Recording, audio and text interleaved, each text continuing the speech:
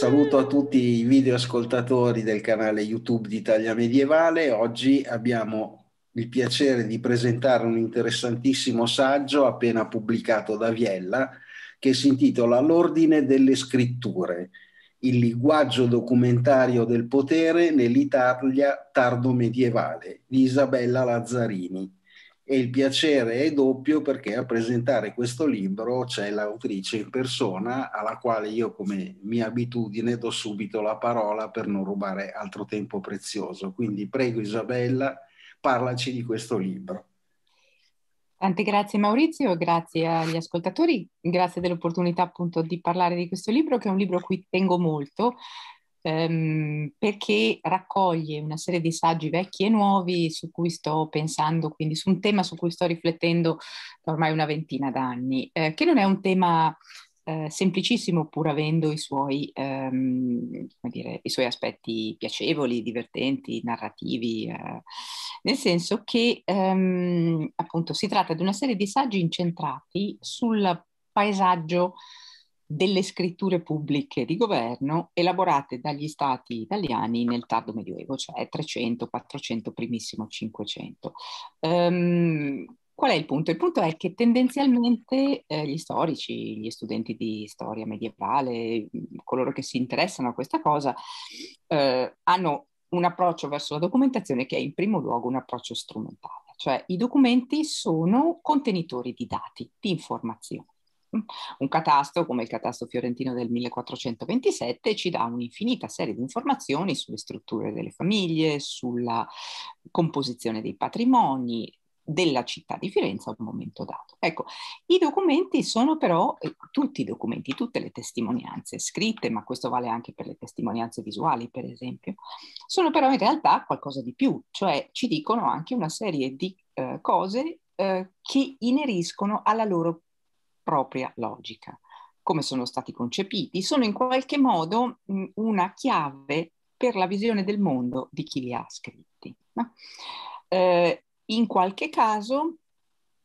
i documenti, nella maggior parte dei casi però è difficile a volte eh, rintracciare questi legami, i documenti costituiscono un sistema, eh, un sistema interrelato, cioè sono unità diverse strutturalmente diverse, che però compongono un sistema organico che funziona secondo determinate logiche. No? Eh, da qui l'idea del titolo L'ordine delle scritture, che bah, prende un po' così, un po' ambiziosamente un titolo famoso di Foucault, L'ordine del discorso, che si riferiva ovviamente a tutt'altro, però l'idea è un po' questa, no? di studiare quindi una sequenza, una serie di tipologie documentarie tardo-medievali italiane, cercando di leggerne l'ordine, cioè la interconnessione, come si parlano fra loro per mettersi a sistema, e eh, le logiche strutturali, cioè come a loro volta un, un insieme di documenti eh, ordina il mondo di cui parla, per cui seleziona le modalità per elencare le cose, elencare le persone, gli oggetti, ehm,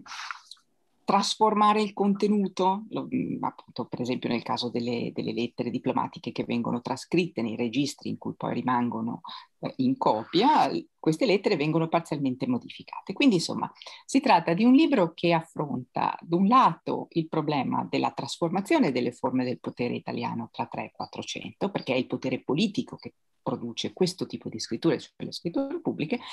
e ehm, dall'altra appunto eh, la loro natura. La loro natura eh, quindi diplomatistica, come vengono costruite, come vengono organizzate le informazioni nei singoli documenti, eh, paleografica, qual è la loro natura grafica, come vengono scritte, e quindi materiale, i supporti, le carte, il papiro, il papiro poi per questo periodo non c'è, ma insomma la pergamena, i supporti materiali e eh, ovviamente poi tutti gli aspetti eh, di tipo contenutistico.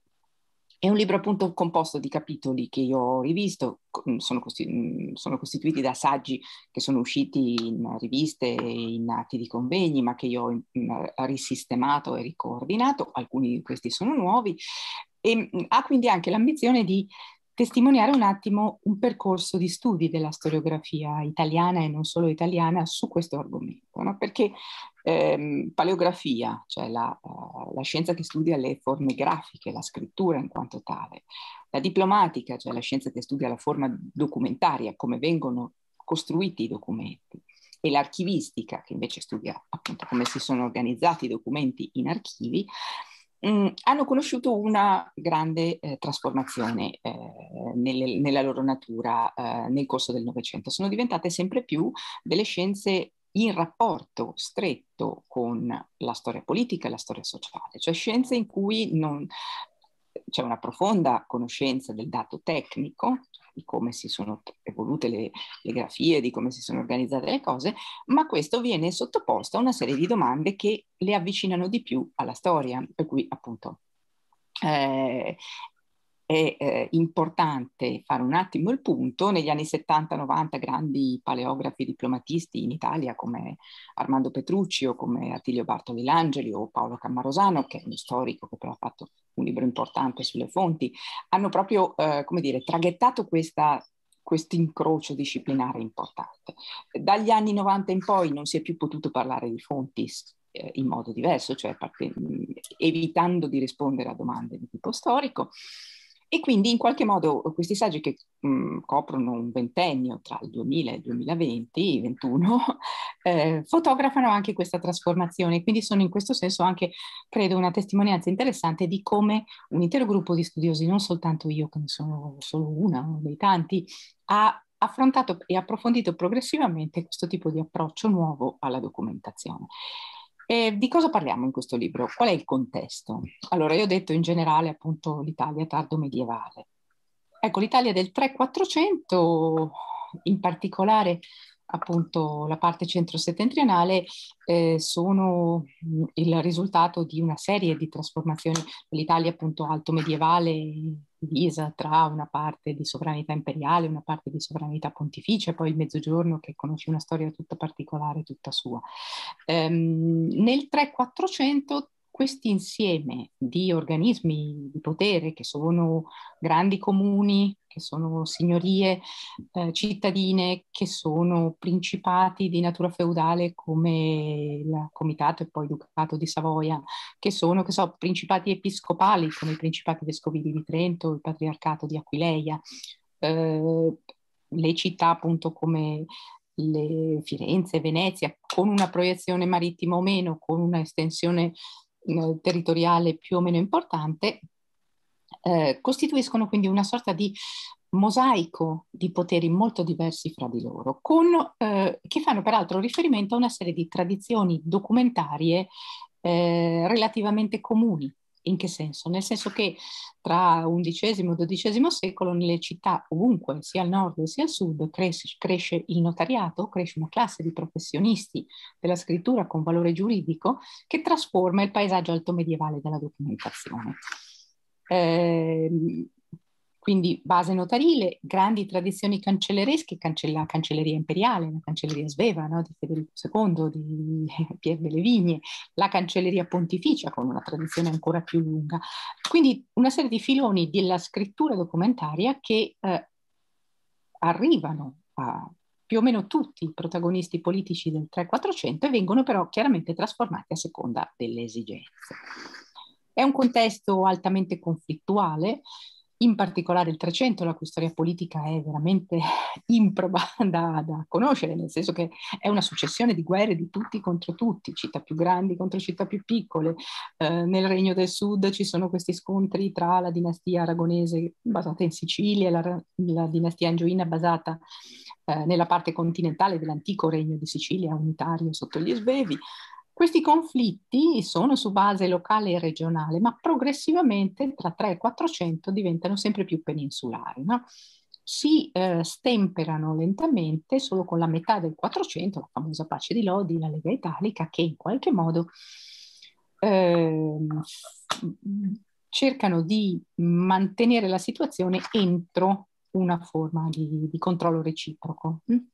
Ecco, attraverso questi due secoli di eh, trasformazioni e di conflitti ripetuti di, di, di proporzione sempre maggiore, eh, i vari poteri appunto italiani, tanto le signorie quanto le città repubblicane,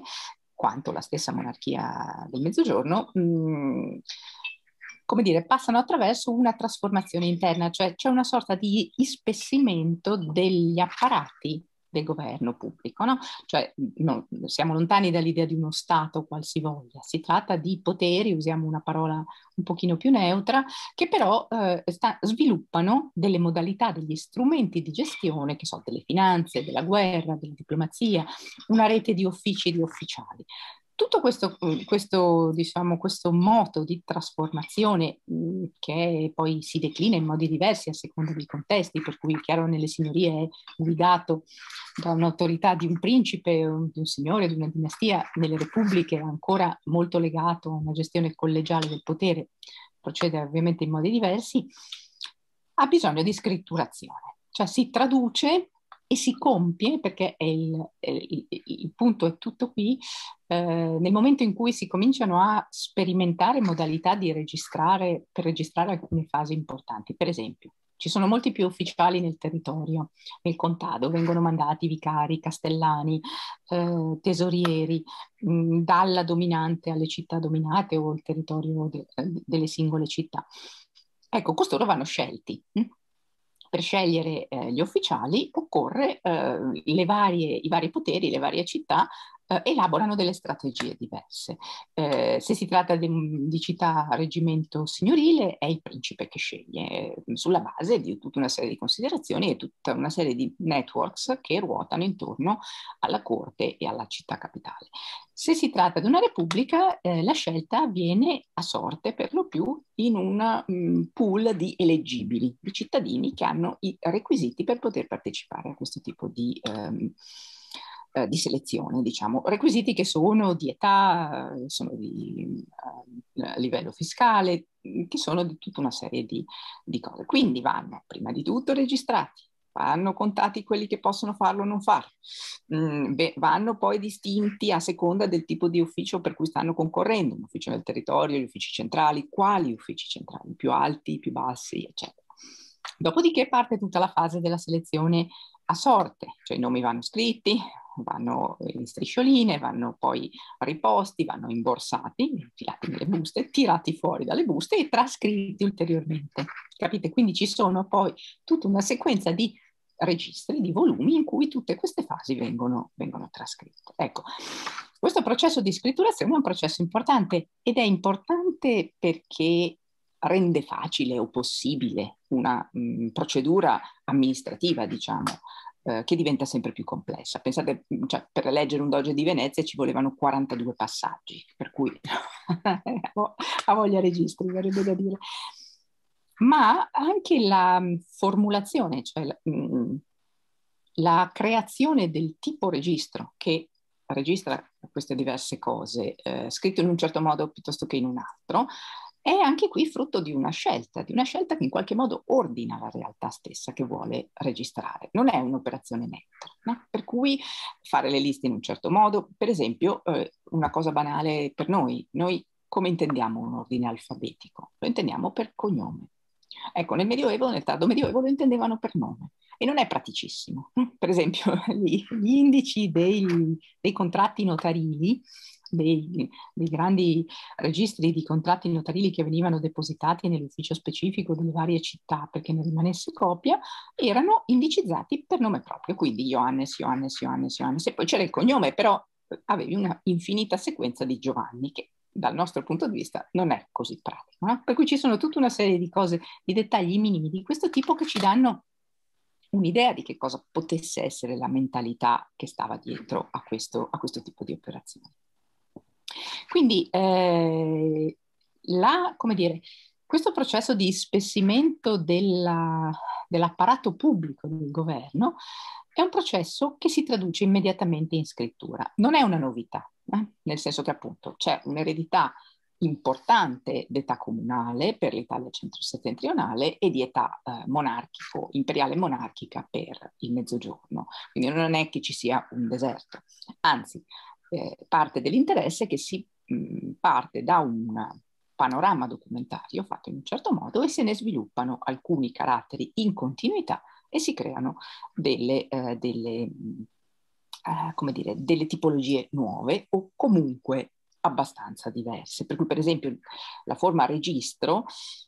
cioè del volume di carte in cui vengono scritti eh, in ordine cronologico giorno per giorno gli atti relativi al funzionamento di un determinato ufficio, è una uh, invenzione, diciamo così, duecentesca, comunale, no? quella che uh, Jean-Claude Mervigueur aveva definito anni fa la révolution scripturaire, la rivoluzione scritturale uh, del comune, che passa dagli atti sciolti agli atti in sequenza, in un unico registro e poi in serie di registri analoghi.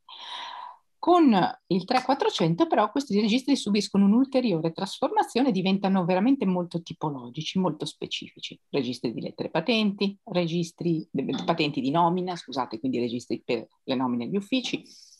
La littera paten- patens, le lettere patentes sono le lettere dell'autorità, che sono, cioè sono aperte in realtà, no? sono mm, palesi perché sono emanate da un ufficio o da un principe a favore di un singolo, per esempio io chiedo il permesso di portare le mie masserizie da Milano a Mantova senza pagare dazi di confine, mi viene scritto, mi viene consegnata una letterina in cui si scrive che per le ragioni più diverse il, il Duca di Milano mi permette di fare questa operazione senza pagare dazi. Ecco, questa è una lettera patens perché io la posso far vedere agli ufficiali milanesi quando esco da, uh, da Milano e agli ufficiali mantovani quando entro a Mantova. Ci sono poi i registri di lettere clause, che sono invece le lettere vere e proprie, le lettere missive, inviate da un destinatario, eh, scusate, da un mittente a un destinatario con un contenuto diverso, no? quindi a diplomatiche, politiche, familiari, eccetera. Ecco, ehm, tutte queste diverse tipologie, ehm, le lettere di grazia, per cui uno è condannato per qualche cosa, si appella al Tribunale Superiore o al Principe, gli viene concessa la grazia per, di non pagare o di non subire pene determinate. No? Cioè tu, queste diverse tipologie cominciano a essere trascritte in registri appositi, invece di essere trascritte in ordine cronologico mh, semplice in un unico registrone che poi si, si sussegue l'uno all'altro. Ci sono poi eh, delle logiche ancora più articolate di organizzazione di questo complesso di registri che diventano sempre più sì, eh, significative. Ecco, eh, si tratta quindi di mh, mm, considerare a seconda dei diversi contesti questi insieme di scritture e della loro trasformazione, trasformazione che risponde appunto a delle logiche ehm, di varia natura. Ecco, questo è un altro punto importante. Eh, sinora abbiamo parlato di logiche di gestione, cioè un organismo politico si struttura per reggere eh, un territorio più ampio, perché eh, sono stati questi che diventano più grandi territorialmente, quindi meno come numero, ma più ampi da un punto di vista territoriale, quindi hanno problemi ovviamente di gestione maggiore, no? perché città, uno Stato come il Ducato di Milano della fine del Trecento alla capitale Milano, che è già una città eh, notevolissima come densità demografica, come diversificazione sociale, come storia, e poi controlla tutta un'altra serie di città e dei loro contadi, loro, eh, diciamo, i loro distretti di campagna. Quindi l'intera, l'intera faccenda si complica ulteriormente. Ecco, la prima eh, cosa che ci interessa è la logica eh, che produce questi documenti, quindi una logica di gestione contemporanea. Vengono fatti questi registri queste lettere, vengono emanati questi atti, spedite queste lettere per gestire gli affari correnti. Poi abbiamo ovviamente, eh, e questi documenti vengono organizzati in, mentre vengono prodotti, perché servono, no? per cui eh, si accumulano nei, nelle cancellerie o negli uffici, in modi che, eh, di cui abbiamo notizia, eh, notizie sparse, naturalmente abbiamo indizi, che però lasciano supporre che chi lavorava fosse in grado di trovarli con una relativa facilità. Mm, per esempio le lettere, le lettere missive, una volta arrivate in cancelleria, venivano infilzate, cioè mm, c'era una base di legno a cui era attaccato una lunga fune con una, una, parte finale di metallo appuntita. La lettera veniva infilzata e veniva, mano a mano che arrivavano, quindi con un ordine banalmente cronologico, da dovunque arrivassero, venivano infilzate. Quando arrivavano a un certo livello, la filza veniva chiusa e veniva riposta. E, la ragione per cui quando noi guardiamo adesso le, le letterine, se guardiamo c'è sempre un forellino al centro, perché è il foro della filza. Ecco, eh, quindi c'è produzione e organizzazione per l'uso immediato. E poi abbiamo ovviamente altri livelli, no? eh, la conservazione per un uso sul medio periodo che è interessante perché che cosa significa? Una volta che una una, la, la, lo stanzone centrale di una cancelleria che possiamo immaginare diviso in tavoli con scribi e cancellieri che facevano il loro lavoro, gli armadi attaccati ai muri in cui venivano riposti, cassoni in cui venivano messi sacchetti, eccetera, eccetera. Quando si riempie a un certo punto va spostato perché diciamo, le, le scritture che servono eh, a quel punto sono altre, non sono più quelle degli anni, dieci anni prima. Si, si spostano altrove, eh, si occupano altri spazi, questa cosa però deve rispondere a sua volta a una logica in modo da poterle ritrovare e eh, alla logica di tipo alluvionale progressivamente si sostituisce una logica di tipo archivistico, cioè si mettono in ordine secondo determinate eh, tecniche, usando sigle eh, numeriche, alfanumeriche, nomi eh, di riferimento. Il cassone dell'Aquila contiene tutti gli atti dell'impero, mh, mm, nomi che associ eh, tendi ad associare al, al contenuto. Questo tipo di organizzazione dà origine a degli inventari, perché appunto è poi utile avere sotto mano come e dove trovare, e gli inventari cominciano ad essere interessanti, perché ovviamente la distribuzione geografica di 20 anni dopo, 50 anni dopo, non, siamo, non siamo più in grado di ricostruirla, ma grazie all'inventario possiamo in qualche modo immaginarla. Questi inventari ci danno un'idea or- dell'ordine che avevano in quel momento, vale a dire, comincia a operare una logica che non è più solo di organizzazione e di gestione, ma di costruzione della memoria, cioè di costruzione di un sistema documentario che risponde a un determinato eh, tipo, a, un, a, una determinata idea dell'identità del, del eh, potere che ha prodotto queste cose. Mm, vi faccio un esempio banale, eh, minimo. 1466 eh, muore il duca di Milano Francesco Sforza, il capo della cancelleria sforzesca Cicco Simonetta dà ordine di intraprendere la trascrizione in un unico grande registro pergamenaceo di una certa qualità materiale delle paci e dei trattati di alleanza stipulati da Milano eh, a partire dall'età di Filippo Maria Visconti, cioè il nonno della, del, del, giovane erede Galeazzo Maria, sino all'età del nuovo duca. Ecco, questo registro è un archivio in sé, in qualche modo, no? un cartulario diplomatico, un registro che raccoglie una, un piccolo archivio diplomatico in sé. Questo registro ha un proemio dettato direttamente da, da Cicco Simonetta in latino, in cui Cicco parla in prima persona e dice con chiarezza questo, ho fatto fare questo registro perché qui ci siano raccolte da ogni dove le scritture che serviranno al regnum tuum, al tuo governo. Regnum, peraltro, usato non a caso, anche se si tratta di un duca. No? Quindi qual è l'idea che sta dietro a tutte queste operazioni? Di costruire ex post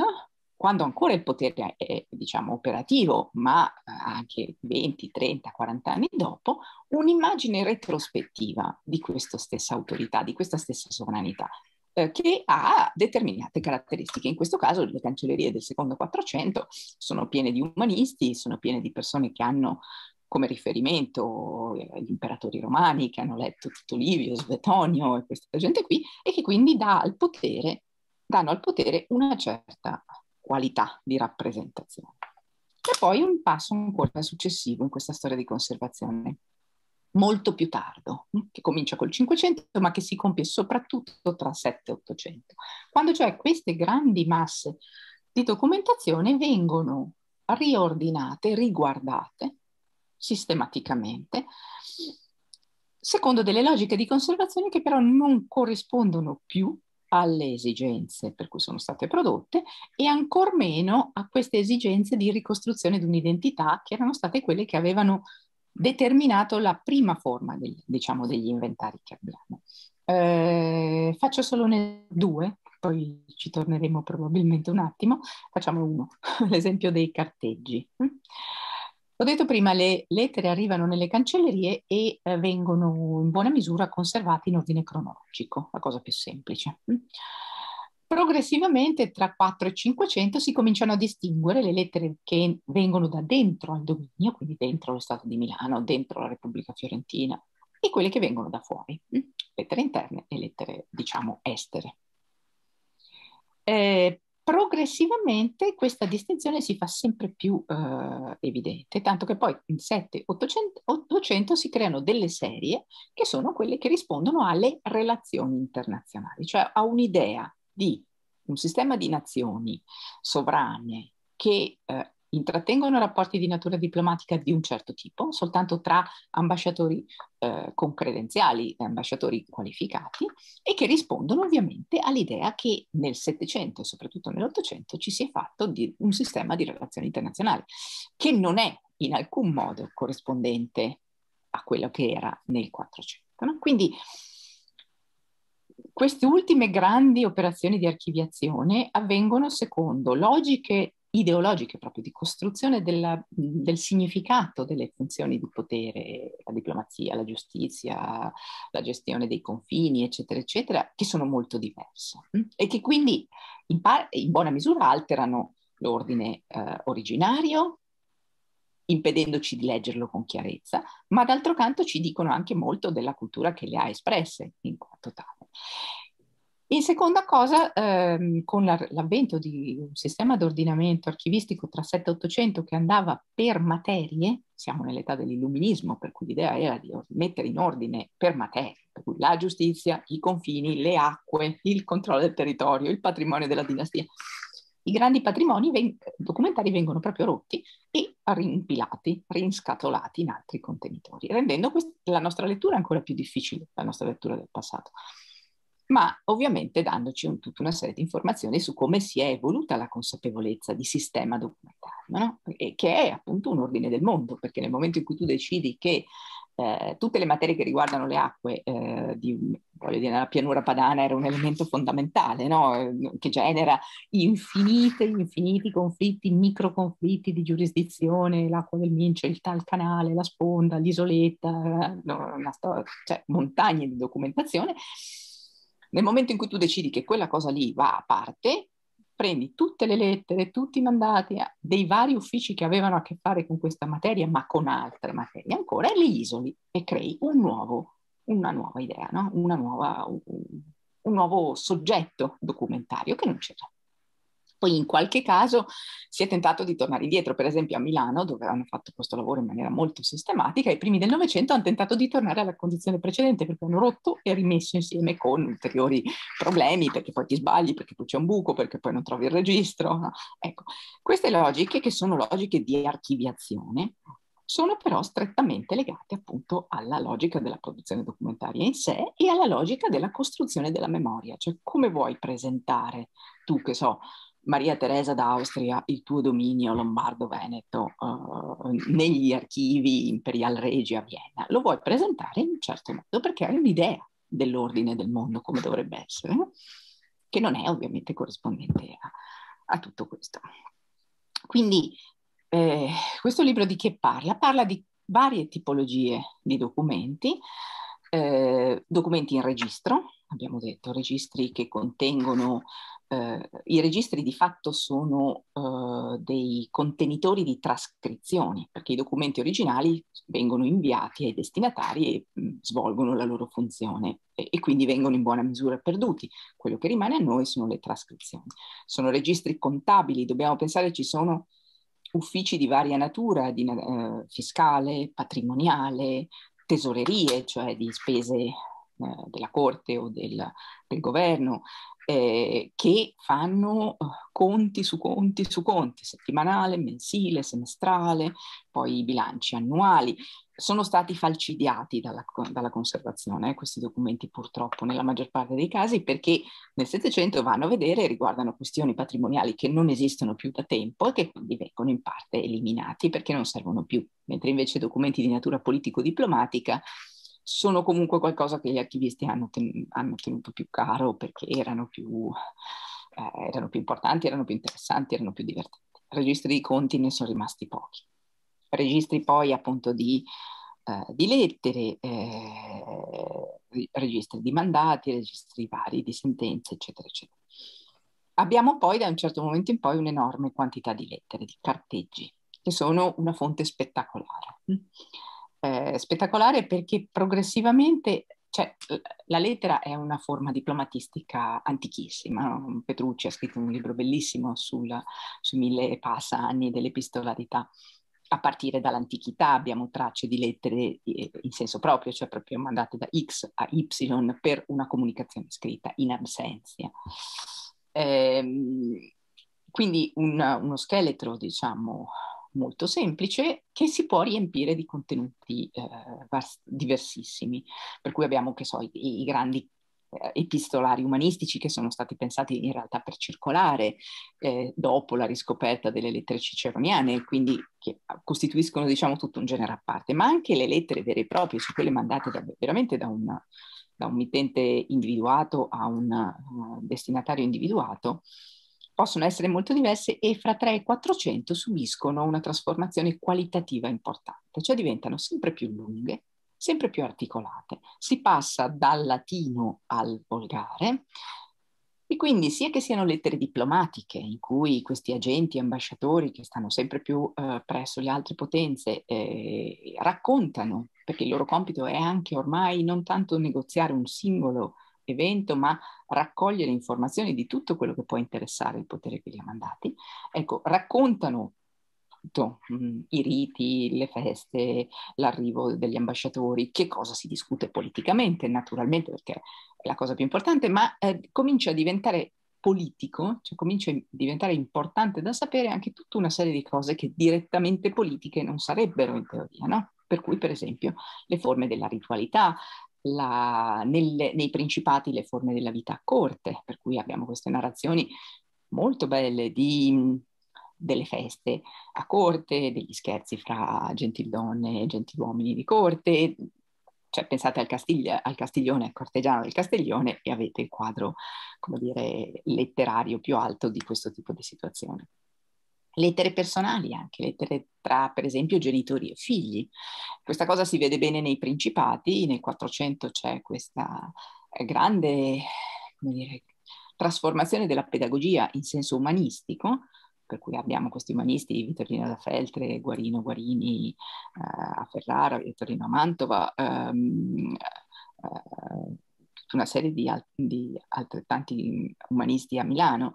che ehm, elaborano dei processi educativi per i giovani principi, le giovani principesse. Eh, I giovani principi e le giovani principesse non imparano solo delle materie, diciamo così, ma imparano anche a scrivere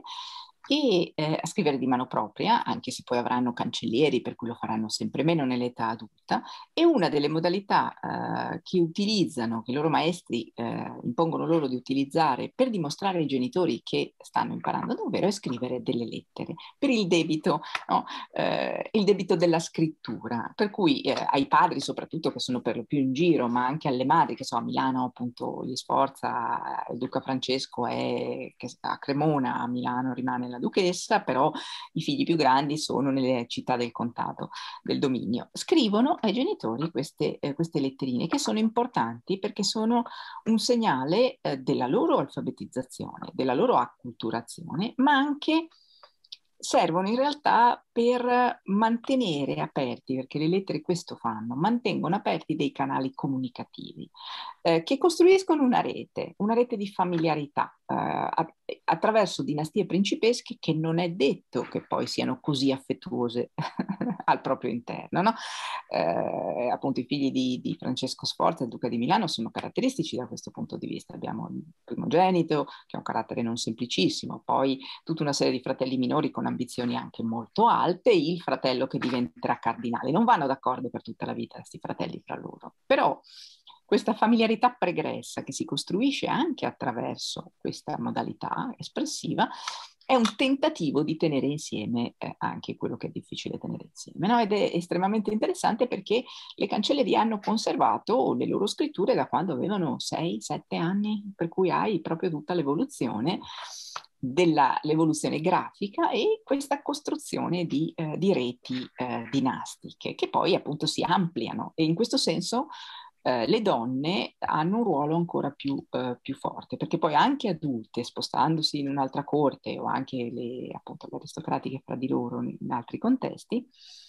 uno dei compiti, diciamo così, caratteristici delle principesse sarà di mantenere e alimentare questa rete epistolare dinastica, che ci sono dei momenti in cui appunto in realtà serve, serve ad attutire il conflitto, serve a parare un attimo la conflittualità o uh, sostituire un dialogo politico quando ci sono dei problemi. Ippolita Maria Sforza, uh, la figlia, una delle figlie di uh, Francesco Sforza, viene sposata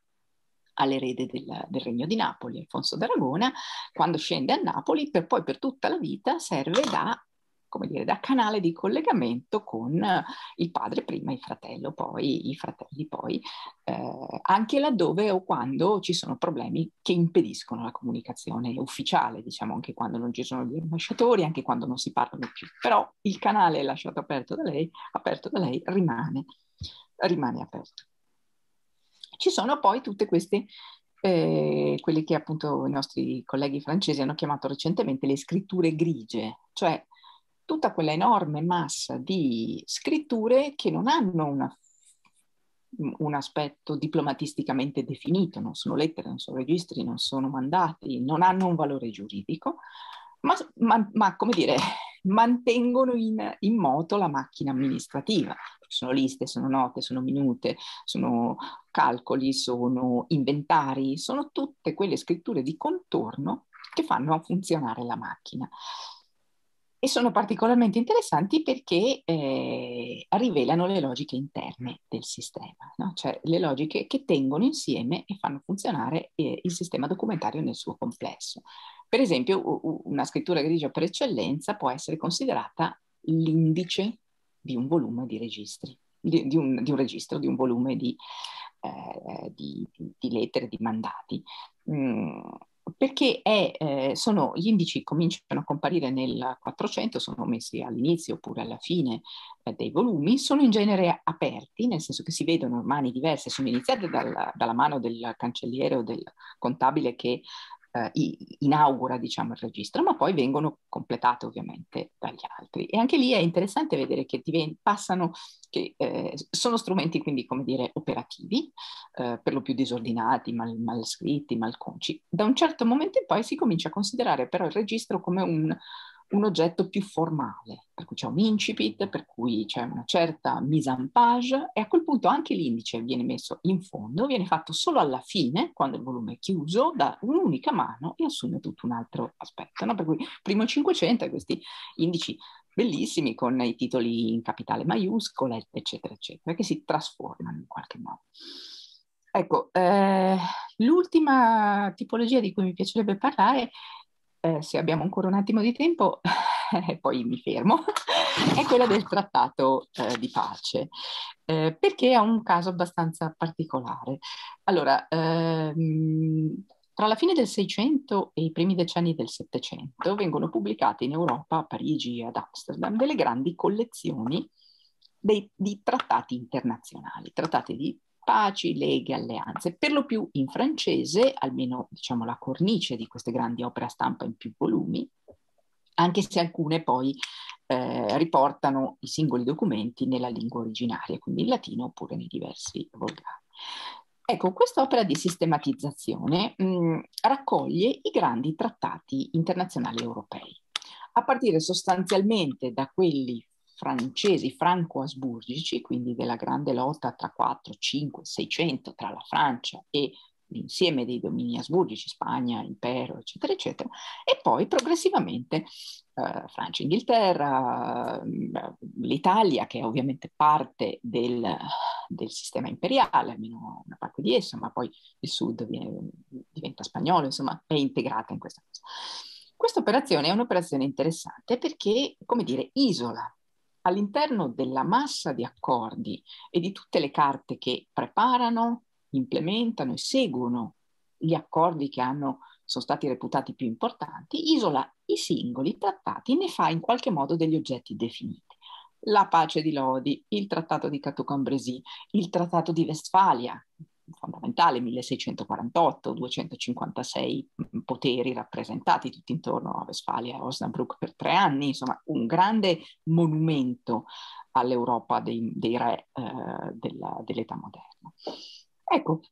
questa, eh, questa, storia è esemplare di quello di cui parlavo prima quando parlavo della, della manipolazione e uso una parola pesante, eh, della documentazione pregressa. Eh, io ho studiato in questo caso la, la pace di Lodi, che è una, una, pace importante perché è quella che appunto pone fine in teoria, poi non è proprio vero, ma insomma si propone di porre fine a questi conflitti tre-quattrocenteschi tra i poteri italiani, eh, è alla base dell'idea appunto della nascita del, del principio dell'equilibrio, della non interferenza, no? ci sono cinque stati maggiori, eh, non, non si possono fare guerra fra loro, non possono allearsi con poteri esterni all'Italia chiamando dentro gente che non vogliamo avere intorno. Ed è e diventa nella tarda età moderna e eh, a partire dall'Ottocento uno di, questa, di, questi trattati di base di quella che è appunto un sistema di equilibrio tra le potenze. Se noi andiamo a vedere come è stato scritto davvero sulle fonti quattrocentesche, ci accorgiamo però che appunto era una cosa molto diversa, cioè era uno dei tantissimi tentativi di mettere insieme queste cose. È circondato, è, è redatto in modo diverso a seconda delle diverse sedi, nel senso che ciascuno ha, ha, ha tenuto la parte che gli interessava di più. C'è una serie di capitoli che interessano tutti, poi tutta un'altra serie di altri capitoli che si adattano a Milano, a Venezia, a Firenze, eccetera. Era talmente poco sentito importante il trattato in sé che abbiamo pochissime ori- co- mm, versioni originali in pergamena della, del trattato ipso, in quanto tale, ma abbiamo registri strapieni di tutte le fasi di eh, preparazione e le fasi poi di applicazione. Per esempio tra Milano e Venezia tutta una serie di eh, confini locali minuti devono, sono stati poi rintracciati dopo, negoziati sul territorio, no? perché c'era quel cippo lì, ma l'avete spostato, non l'avete spostato, la quercia, ma piuttosto che il torrente, ma piuttosto che no. Questo che cosa ci fa pensare? Ci fa pensare che la diplomazia della metà del 400 è qualcosa di diverso da un incontro come può essere la pace di Vienna del 1815, no? eh, per quanto nel 1815 avessero tutto l'interesse di, a ricostruire una genealogia che andava così lontano nel tempo per, per una questione di legittimità, perché è chiaro che una, una cronologia lunga legittima eh, la versione attuale del potere. Quindi, insomma, un'analisi mm, come dire, fine di alcuni aspetti documentari, di alcuni fenomeni storici importanti, ci permette di giocare eh, su, su, vari eh, livelli, no? capire meglio il fenomeno quando è accaduto, posto che ci si riesca, ma anche di capire poi le manipolazioni ideologiche e l'uso che di queste fonti è stato fatto in tempi molto diversi, anche, anche molto lontani dalla loro, dalla loro scrittura, dalla loro produzione iniziale. Io direi che più o meno mi pare di, avere, di avervi dato un quadro generale. Uh. È, è, affascinante perché attraverso eh, apparentemente noiose carte uno può scoprire un mondo e un universo che gli gira intorno sì. e, e, tracciare un, un panorama di lunga durata, di lungo periodo, quindi veramente molto, molto, molto interessante. Io ripeterei il titolo del libro a questo punto che è L'ordine delle scritture, il linguaggio documentario del potere nell'Italia tardo medievale. L'autrice Isabella Lazzarini che è stata con noi, sono 396 pagine, pubblicato da pochissimo dall'editrice Viella. E lo consiglio anche ai non esperti perché secondo me questo è magari non facilmente accessibile a chiunque, ma utile per comprendere anche la storia di come si sono evolute le cancellerie e, e, i rapporti tra i vari poteri nel nostro paese fra 3, 4 e 500. Io ringrazio tantissimo Isabella Lazzarini di aver accettato il nostro invito vi ricordo come sempre di continuare a seguirci sul nostro sito che è www.italiamedievale.org dove naturalmente troverete questa videopresentazione insieme a tutte le altre e che dire, sperando di rivederci con la prossima pubblicazione quanto prima, grazie ancora. Grazie, grazie mille a te e a voi tutti quanti. Grazie.